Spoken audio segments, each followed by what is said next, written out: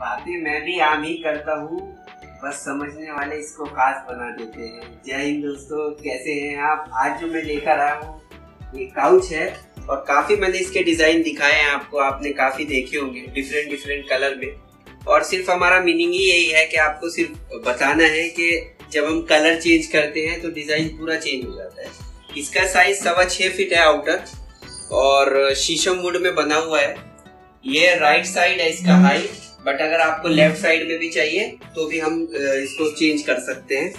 और साइज़ अगर इसका बड़ा चाहिए तो भी हो जाएगा, छोटा चाहिए तो भी हो जाएगा। इसके पीछे भी हमने सेम जैसे कि आप देख रहे हो। पीछे भी हमने सेम कपड़ा दिया और लकड़ा भी सेम ही है। शीशम ही दिया है। नॉर्मली सोफो में क्या कर रहे हैं, आजकल पीछे दूसरा कपड़ा लगा देते हैं। लेकिन मैं बिलीव नहीं करता हूँ। मुझे लगता है कि सेम ही कपड़ा देना चाहिए। क्योंकि अगर आप सेंटर में भी रख रहे हो तो सेम हो जाएगा गंदा नहीं दिखेगा।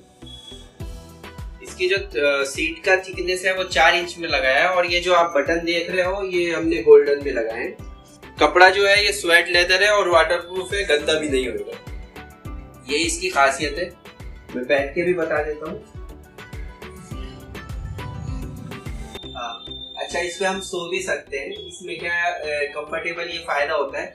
कि आप इसे एज ए सोफे की तरह और दीवान की तरह लाइक बेड की तरह भी यूज़ कर सकते हैं। अगर ऐसे ऐसे चीज़ें देखनी है तो मेरे चैनल पे प्लीज़ सब्सक्राइब कर दीजिए और इसे लाइक भी कर दीजिए और प्यारा सा कमेंट्स भी भेज दीजिए। मैं आपसे वादा करता हूँ, मैं आपको सब चीज़ें दिखाने वाला हूँ और सब एक्सक्लूसिव भी दिखाने वाला हूँ। हमारे यहाँ सब ऐसी ही चीज़ें बनती है।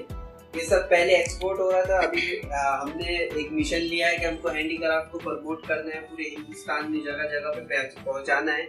और अगर आप नहीं भी परचेस करते हैं तो प्रॉब्लम नहीं है। एटलीस्ट आपको मालूम तो पड़े कौन से कलर यूज़ किए जाते हैं कैसा डिज़ाइन यूज़ किया जाता है कैसा आ, कपड़ा होता है और प्राइस क्या होता है। प्राइस बहुत इकोनॉमिकल रखे हैं हमने।